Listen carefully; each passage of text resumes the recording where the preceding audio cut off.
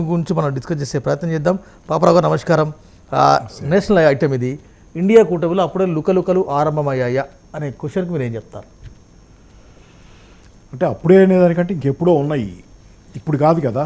మీకు పాట్నా సమావేశం దగ్గరే మొట్టమొదటి సమావేశం ఇండియా కూటమి. దాని దగ్గరే ఆమ్ ఆద్మీ పార్టీతో పేచీ వచ్చింది. ఆమ్ ఆద్మీ పార్టీ వస్తుందా రాదా అనే ఆ సమావేశానికి అనే సందేహం. ఎలాగో సర్దుకుపోయి మొత్తానికి ఆ సమావేశాన్ని ముగించారు. ఆ తర్వాత కూడా చిన్న చిన్నవి వచ్చినాయి కానీ మొత్తానికి సర్దుబాటు జరిగిన వాతావరణం కొంత కనపడ్డది. అది ఎప్పుడు దాకా ఉందంటే మొన్న నాలుగైదు రాష్ట్రాల ఎన్నికలు జరిగినాయి కదా. అప్పటిదాకా కూడా కొంత ప్రశాంతంగా కనపడ్డ వాతావరణం ఆ ఎన్నికల్లో రాజస్థాన్ మధ్యప్రదేశ్ ఛత్తీస్గఢ్ ఈ మూడు రాష్ట్రాల్లో పొత్తుల విషయంలో సమాజ్వాదీ పార్టీకి ఆమ్ ఆద్మీ పార్టీకి ఇంకొక పక్క కమ్యూనిస్టులకి కాంగ్రెస్ పార్టీకి వచ్చినటువంటి వైరుధ్యం. ఈ మూడు రాష్ట్రాలు కాంగ్రెస్ పాలి కాంగ్రెస్ పాలిత రాష్ట్రాలే కానీ ఆ మూడు రాష్ట్రాల్లో ముఖ్యంగా మధ్యప్రదేశ్లో సమాజ్వాదీ పార్టీతో ప్లస్ ఆమ్ ఆద్మీతో కూడా వాళ్ళకి పేచి వచ్చింది కాంగ్రెస్కి. పొత్తులు కుదరాల్సిన అవసరం ఉంది అక్కడ. ఎందుకంటే బీజేపీ కూడా బలంగా ఉంది పోటాపోటీగా ఉన్న వాతావరణం. పైగా ఏంటంటే వాళ్ళకు కూడా బలం ఉంది. సమాజ్ పార్టీ సమాజ్వాదీ పార్టీ వాళ్ళకు కూడా బలం ఉంది కాబట్టి కొన్ని సీట్లు వాళ్ళకి ఇవ్వాల్సిన ఆగత్యం అక్కడ ఉంది.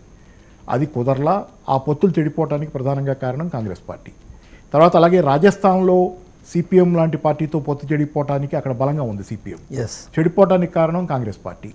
సుదీర్ఘంగా సాగదీసి చర్చల పేరుతో చర్చలు చెడిపోయినాయి. అలాగే ఛత్తీస్గఢ్లో కూడా కమ్యూనిస్టులతో చర్చలు పొత్తులు కుదరలా చెడగొట్టు.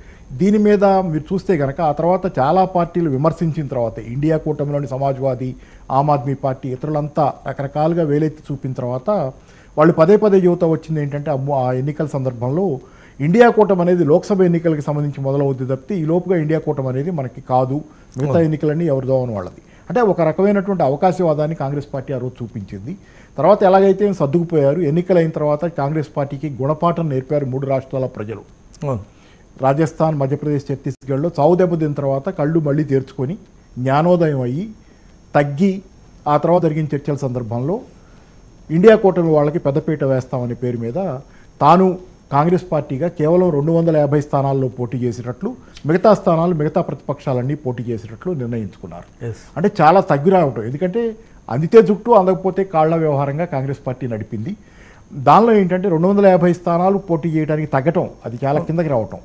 ఆ దానిలో మీకు గత చరిత్ర అంతా చూస్తే ఎప్పుడైనా కానీ కాంగ్రెస్ పార్టీ తన మొత్తం చరిత్రలో స్వాతంత్రం వచ్చిన తర్వాత నాలుగు వందల యాభై సీట్లకి తక్కువ ఎప్పుడు పోటీ చేయాలి. అలాంటి తగ్గొచ్చింది తగ్గొచ్చిన తర్వాత పోనీ నిజాయితీగా తప్పులను ఆత్మవిమర్శ చేసుకుని తగ్గారా అంటే అది కాదు. ఆ తర్వాత కాలంలో చాలా విషయాలు ఇప్పుడు మమతా బెనర్జీ ఇప్పుడు పాదయాత్ర మొదలైంది. రాహుల్ గారి గారి రాహుల్ గాంధీ గారి న్యాయ సాధన యాత్ర మొదలైంది. మొదలైతే అది ఇప్పుడు రేపు పొద్దున బెంగాల్లోకి వెళ్ళబోతుంది. బెంగాల్లోకి వెళ్తే మమతా బెనర్జీ మీ ఇండియా కూటమిలో ఉన్నారు కదా. You should inform her we're coming there వాళ్ళు కూడా జాయిన్ అవుతారు కదా yes, మీరంతా మీరు కలిసి జాయిన్. మీరంతా కలిసి జాయిన్ అయి చేసే ర్యాలీ లేకపోతే పాదయాత్ర దానిలో తృణమూల్ కాంగ్రెస్ జెండాలు వీలైతే కమ్యూనిస్టుల జెండాలు కూడా ఇండియా కూటమిలో ఉన్నారు కాబట్టి. ప్లస్ మీ జెండాలు కాంగ్రెస్ జెండాలు ఉంటే ఎంత బలంగా ఉంటుంది? మీరు అసలు ఏమి ఇన్ఫార్మ్ చేయకుండా ఒక మాట చెప్పకుండా ఎంటర్ అవుతుందని ఫార్మల్గా నేను చెప్పాలిగా తేదీలు ప్రకటించడం కాదుగా. మమతా బెనర్జీకి ఫార్మల్గా ఒక మాట చెప్పాలి కదా. ఏమీ చెప్పకుండా అక్కడికి పోయే తీరు ఆ పైగా చర్చల్లో ఈరోజు కాంగ్రెస్ పార్టీకి రెండు సీట్లే ఇస్తామన్నారని మమతా బెనర్జీ గారు ఒకటి. ఏంటంటే అంతకుముందు గెలిచిన రెండు సీట్లే ఇస్తాం మీకు ఎంపీ స్థానాలు పార్లమెంట్ ఎన్నికలకి. తప్పే ఉంది అన్నారు బేరసారాలు ఆడుకోండి. అంతేగాని మీ బలం ఏమైనా పెరిగిందంటే బేరసారాలు ఆడుకోండి. మీ బలం గతంలో కంటే తగ్గిన వాతావరణం కనపడుతుంది. రాజస్థాన్ మధ్యప్రదేశ్ ఛత్తీస్గఢ్ ఛత్తీస్గఢ్లో ఓడిపోయిన తర్వాత ఎవరేమని ఏమనుకుంటారు? కాంగ్రెస్ పార్టీ గతంలో ఉన్న రాష్ట్రాలను కూడా కోల్పోయిన తర్వాత బలంగా ఉందని ఎలా అనుకుంటాం? పైగా మీరే తగ్గి రెండు వందల యాభై స్థానాలకు మిమ్మల్ని మీరు పరిమితం చేసుకుని అంతవరకే మేము ఉండగలం. అని చెప్పాల్సి వచ్చిన తర్వాత మిమ్మల్ని ఏమనుకుంటాం? అందుకని ఏంటంటే మమతా బెనర్జీ తప్పేమీ లేదు దీనిలో. కాబట్టి ఏంటి? ప్రధానంగా ఆమె ఏంటంటే ఆరోపణ చేసేది కానీ కాంగ్రెస్ పార్టీ ఏంటంటే కేవలం ఒక కెమేలియన్ లాగా ఒక ఊసరవెల్లిలాగా రంగులు మారుస్తుంది. పరిస్థితి తనకు అనుకూలంగా ఉన్నప్పుడేమో ఒక రకంగా. లేనప్పుడేమో ఒక రకంగా.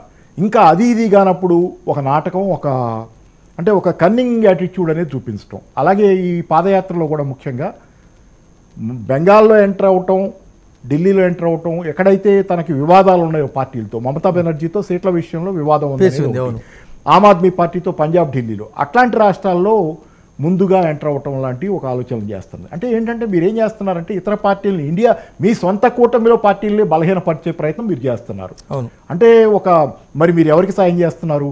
మీరు బీజేపీకి బీ టీం అంటే అనుమా కాంగ్రెస్ పార్టీ వరకు ఇండియా కూటమిని అంటాను నేను. అవును. బీ టీమ్గా వ్యవహరిస్తున్నారా లేకపోతే ఇండియా కూటమిలో భాగస్వామిగా బీజేపీని ఓడించడానికి పనిచేస్తున్నారా? కాబట్టి ఏంటో ఒక దుర్మార్గమైనటువంటి కంత్రి ఎత్తుగడలను అనుసరిస్తున్న కాంగ్రెస్ పార్టీ ఈరోజు. ఈ కాంగ్రెస్ పార్టీకి నేను పదే పదే చెబుతుంది కూడా అది. అదే తెలంగాణ ఎన్నికల సందర్భంలో కూడా చెప్పాను. ఈ కాంగ్రెస్ పార్టీకి ఇందిరాగాంధీ కాంగ్రెస్కి సంబంధం లేదు. ఇందిరాగాంధీ లేదు. This is a different Congress party. ఇది సంస్కరణలు తెచ్చిపెట్టిన కాంగ్రెస్ పార్టీగా దీనిలో ఒక వెస్టెడ్ ఇంట్రెస్ట్ గ్రూపులు ఏ సంస్కరణలు? ఆ సంస్కరణలు అన్నింటినీ వ్యతిరేకించట్లా. కానీ సంస్కరణలోని పెద్ద భాగం కార్పొరేట్లు ధనవంతులకు అనుకూలమైంది విధానాలు తెచ్చిన కాంగ్రెస్ పార్టీగా దీనిలో ఒక పెద్ద విభాగం దానికి అనుకూలంగా తయారయ్యి ధనవంతులకు అనుకూలంగా తయారైనటువంటి విభాగం ఇది ఇందిరా కాంగ్రెస్ పేదల కాంగ్రెస్ కాదు. అందుకే ఈరోజు అదానీ గురించి రాహుల్ గాంధీ ఒక మాట మాట్లాడతాడు ఇక్కడ రేవంత్ గాంధీ ఇంకో రేవంత్ రెడ్డి ఇంకో పని చేస్తాడు. అందుకని ఏంటంటే వీళ్ళ మాటలు రాజస్థాన్లో గెహ్లాట్ కూడా అంతే. రాహుల్ గాంధీ ఏమో అదానీని తిడుతుంటే గెహ్లాట్ పిలిచి సన్మానం చేసి వాళ్ళని గౌరవిస్తారు. అందుకని ఏంటంటే ఇవన్నీ చెప్పడానికి ఒకటి చేయడానికి ఒకటి రాజనీతి అనుసరిస్తుంటుంది. ఈ పార్టీ ఖచ్చితంగా ఇందిరాగాంధీ తాలూకు వారసత్వమే కాదు ఇది. ఇందిరాగాంధీ పేదల పక్షాన్ని నిలబడింది. అమీతుమి ధైర్యంగా సాహసికురాలు గొప్ప పోరాట యోధురాలు ఇందిరాగాంధీ. నిజంగా చెప్పాలంటే కూటమిలో లుకలకు అంటే మోడీకి బ్లెచ్చింగ్ కదా? బీజేపీకి అదే కదా మరి కూటమిలో వీళ్ళు చేస్తున్న పనులే కదా? ఈ కంత్రీతనం. అంటే మేమే ప్రధానమంత్రి. ఆ రెండు వందల యాభై సీట్లకి తగ్గిన తర్వాత మీరు దానిలో ఎన్ని గెలవగలరు? అవును. అన్నీ అంటే ఏంటంటే ఎదుటి వాళ్ళు అందుకే మీకు రామచంద్ర గుహ ఈయనకంటే ముందు యోగేంద్ర యాదవ్. ఇప్పుడు ఏమైందో యోగేంద్ర యాదవ్ మళ్ళీ అంతా తన మాటలన్నీ తానే నాలిక్కరుచుకొని పోయి కాంగ్రెస్ వెనక చేరి కాంగ్రెస్ ఎలాగైనా గెలుస్తుంది పార్లమెంట్ ఎన్నికల్లో. మూడు రాష్ట్రాల్లో ఓడిపోతే ఏం కాదు పర్వాలేదని చెప్పి ఆయనకి ఆయనకి తోచిన ఆయన ప్రపంచంలో ఆయన బతుకుతున్నాడు. అంటే ఈ ఆస్ట్రిచ్ ఇసుకలో తలబెట్టి తన ప్రపంచం తనకుంది అంతా బాగుంది అనుకుంటుంది కదా. అలాగే కాంగ్రెస్ బాగుందని యోగేంద్ర యాదవ్ భ్రమల్లో ఆయన ఆయన రాసుకుంటున్నాడు. మొదట్లో ఫస్ట్ ఫస్ట్ ఈ టాపిక్ ఎత్తిందే యోగేంద్ర యాదవ్. కాదండి ఏంటంటే మోడీని కాంగ్రెస్ పార్టీ మో- మోడీని దించాలంటారు ఎన్డీఏ కూటమి